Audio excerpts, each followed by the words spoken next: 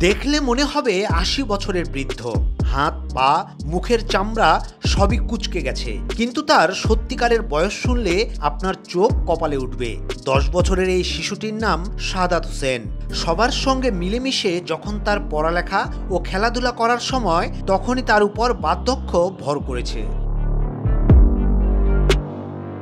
জানা যায়, জন্মের চার মাস পর প্রোজেরিয়া নামক জটিল রোগে আক্রান্ত হয় শাহাদাত। এরপর থেকেই তার শরীরে বার্ধক্যের ছাপ পড়তে শুরু করে। শাহাদাত সবে দশ বছরে পা দিয়েছে। আর এখন তার গায়ের চামড়া, মুখমণ্ডল আশি বছরের বৃদ্ধকেও ছাড়িয়ে গেছে। সে কারণে সমবয়সী শিশুরা তাকে এড়িয়ে চলছে। এমনকি এড়িয়ে চলছে বড়রাও।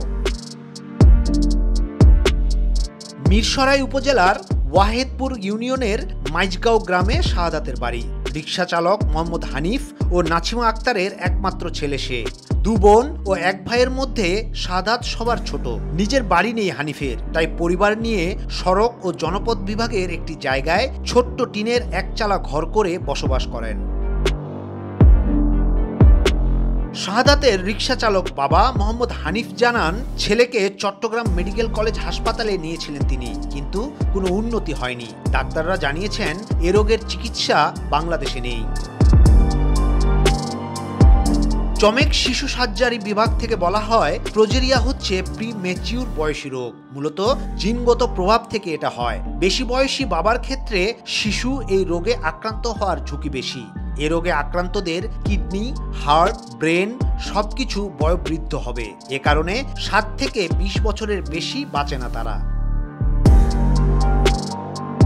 বাড়ি থেকে প্রায় দু কিলোমিটার দূরে মির্জাপুর সরকারি প্রাথমিক বিদ্যালয়ে দ্বিতীয় শ্রেণীতে পড়ালেখা করে সাদাত। অসুস্থ শাহাদাতের অভিযোগ তাকে স্কুলের শিক্ষকরা আদর করলেও বন্ধুরা কেউ খেলতে নেয় না। তাই তাড়াতাড়ি সুস্থ হয়ে সবার সাথে খেলতে এবং পড়তে চায় সে।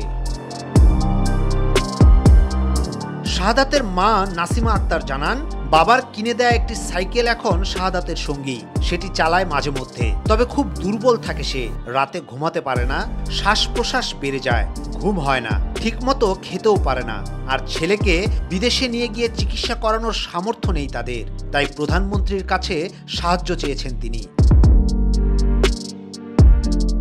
এদিকে স্থানীয়রা বলছেন, সমাজের বিত্তশালীদের উচিত শিশুটির সাহায্যে এগিয়ে আসা। তারা এগিয়ে আসলে আবারও সুস্থ স্বাভাবিক জীবনে ফিরতে পারবে সাদা। সাদা কালো নিউজ